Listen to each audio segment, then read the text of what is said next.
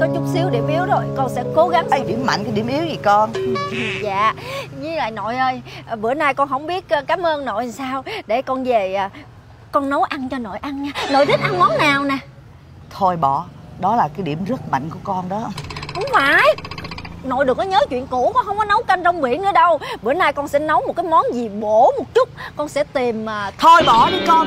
Tìm hả? Món tìm gì con mà nấu món tìm tìm đó là mọi người tìm mà nội ở trong nhà xác đó. Trời ơi con ơi tính tiền nó trả. À cậu phong phải không? Dạ. Lấy nè. Dạ Dạ dạ chào bà Tám. Cậu ngồi đi. Dạ. Dạ chào bà. Ừ, chào cậu. Dạ Không ngờ là một con có một công hãng rất là lớn Được gặp một người rất là uy tín như bà. Một người chuyên xuất khẩu trái cây qua châu Âu và châu Á Với những đơn hàng hàng chục tỷ. Không ngờ con lại được gặp bà ở một nơi như thế này. Không biết có tiện không ạ? Đối với tôi cái quan niệm là dù khách hàng lớn hay là khách hàng nhỏ vấn đề là họ có ý chí và muốn hợp tác làm ăn với tôi là tôi sẵn lòng đến những quán cốc nhỏ như vậy. À triết lý làm ăn của bà Tám quá hay.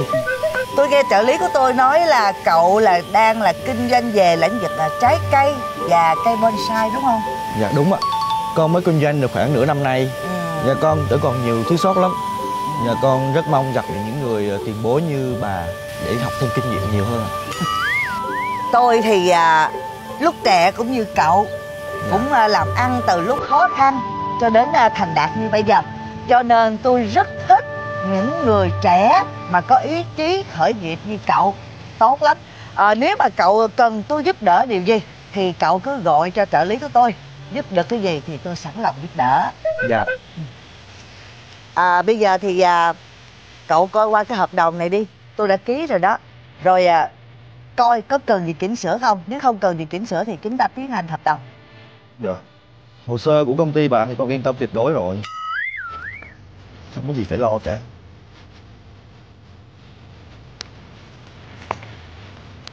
Theo như trong hợp đồng á thì à, cậu phải đặt 30% trong cái tổng giá trị hợp đồng này. Thì à, cậu đặt cho tôi là 300 triệu. Dạ. Có gì thì con chuyển tiền liền luôn. Chuyển tiền liền à? Dạ. Đây nè. Đây là mã QR của tôi nè. Dạ. Cậu nè bây giờ lần đầu tiên á thì mình hợp tác ở quán tóc vậy. Mai mốt á thì có gì á thì gọi trợ lý cho chúng tôi. Đến công ty hoặc là đến nhà của tôi. Cậu thấy không? Ở đây là toàn là công trình xây dựng không à tiếng ồn ào quá làm cho mình mất tập trung. Dạ. Cha À. lẹ quá đã có tiếng tin tin rồi. Dạ. Rồi chúc mừng hợp tác thành công. Dạ. À, Và bây giờ con sẽ đi làm cái đường link nha. Đường link đó sẽ dẫn tới cái công ty của con.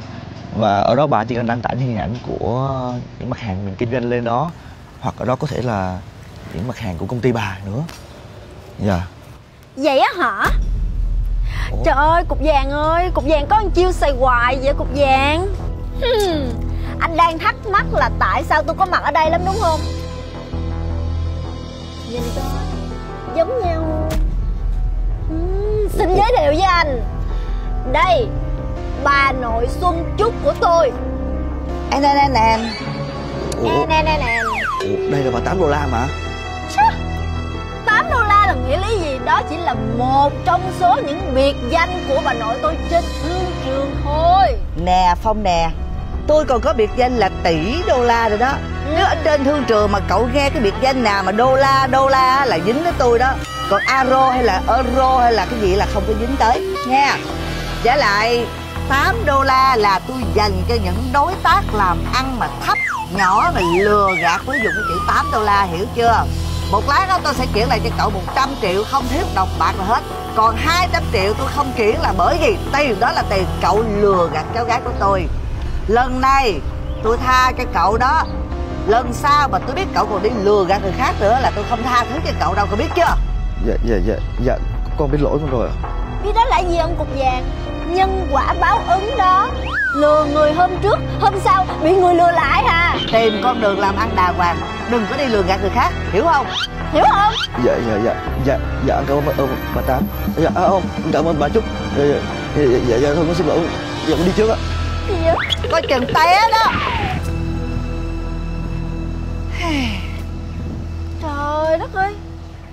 Sao mà dễ dàng quá vậy? Nội ừ? sao mấy cái vụ này là mình phải báo công an đó. Nè nội đã cho người đi điều tra nó rồi. Thật sự ra nó không phải là con người chuyên môn lường gạt đâu. Lần này á là lần đầu tiên mới đi lường gạt đó. Bởi vì á, cha của nó mất sớm mẹ của nó thì đang bị ung thư giai đoạn cuối.